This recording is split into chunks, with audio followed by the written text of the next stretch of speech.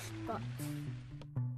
How's it going? This is Ricardo, and in this video, I'll show you how to remove the motherboard from an Inspiron 13 version 7352. If you're looking for parts for this laptop, go to our website and use this coupon for a 5% off discount. First, unscrew and remove bottom base cover.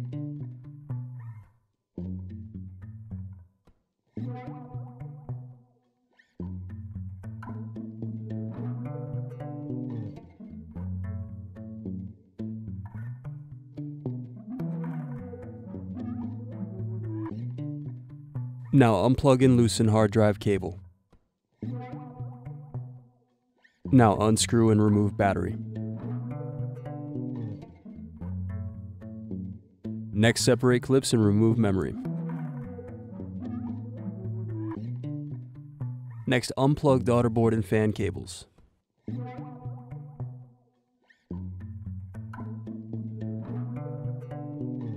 After that, you're going to unscrew and remove fan. Now loosen screws and remove heatsink.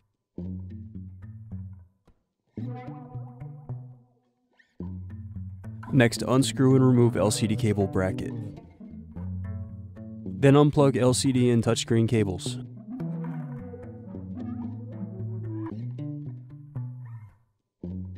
Now unplug DC jack and speaker cables.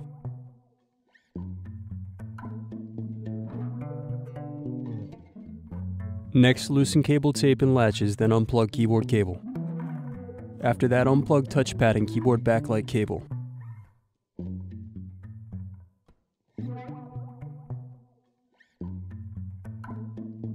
Then unscrew and remove motherboard.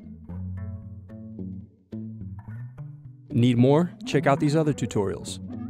For LCD screens, click here. For motherboards, click here. For heatsinks, click here. Thanks for watching. If you enjoyed this tutorial, give this video a like and subscribe to our YouTube channel. Check the video description below for links to written tutorials and replacement parts.